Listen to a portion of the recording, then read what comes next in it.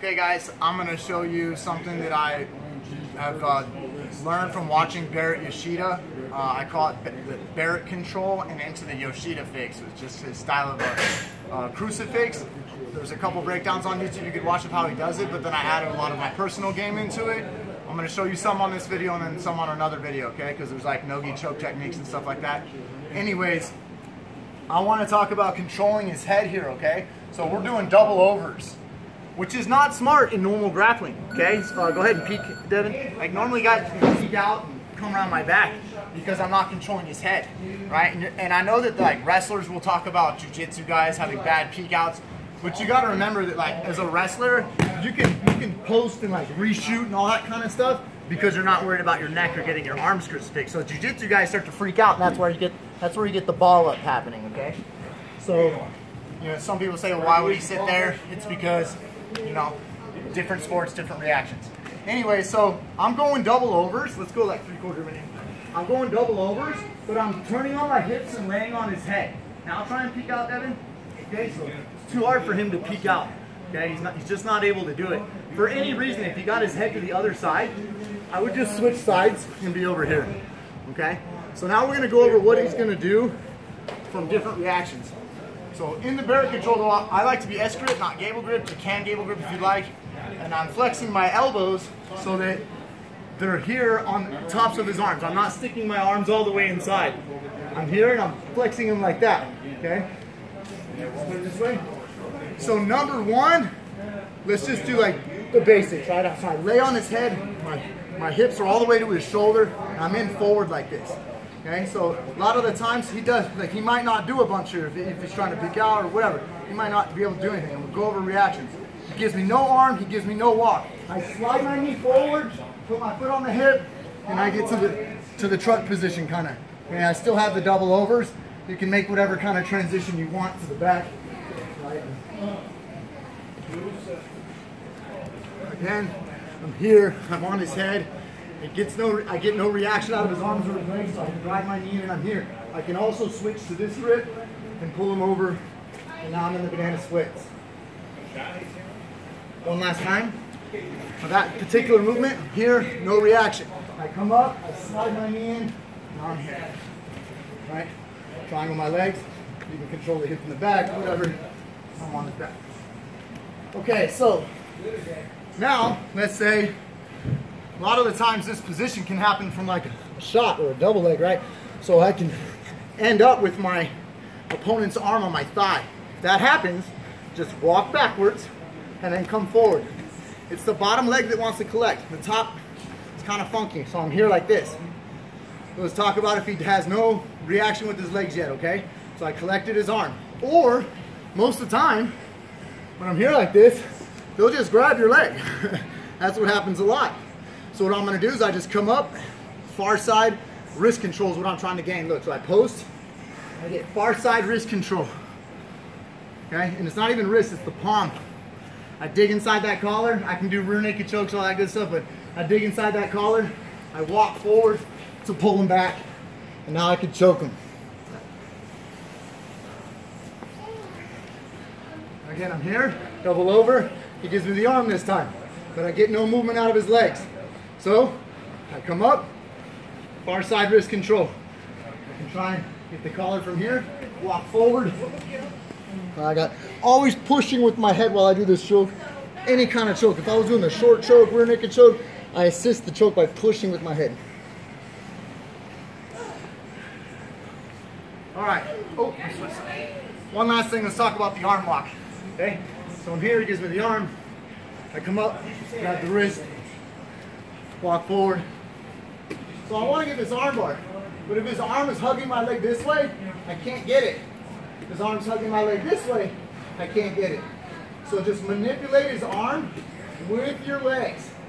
All right? I can hug, hug my leg again. There you go. Like, open it up. You see what I'm saying? My goal is to have an ankle on each side of his wrist. You just have to feel that out. One more time.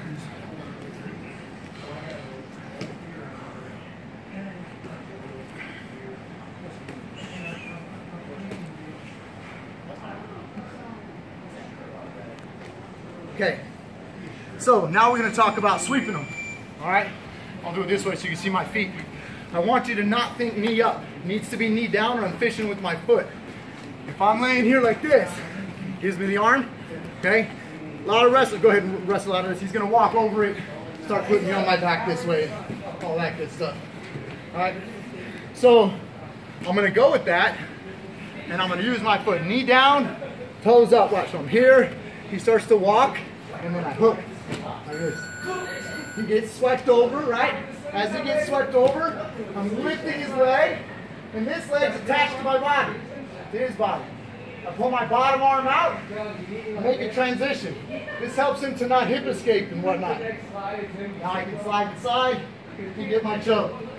You also have an arm bar right here without transitioning. Tap.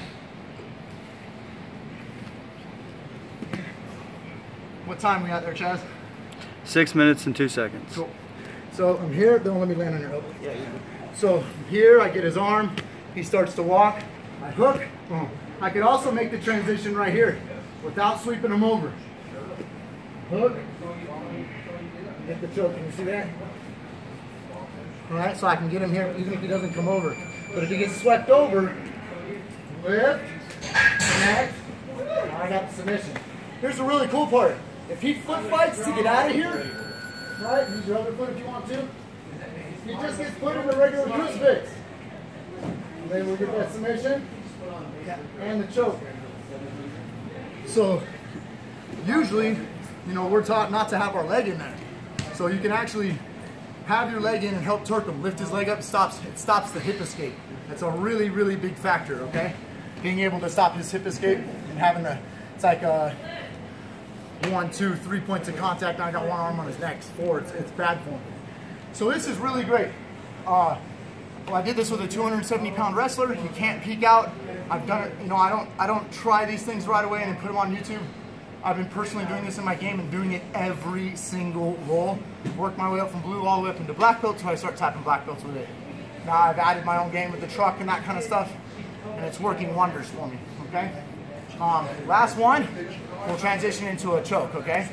So, I'll be here, and I get his arm, okay? So if I get his arm, then I'm able to switch my arm back here. I'm gonna go from here to here. So it's like a head and arm control.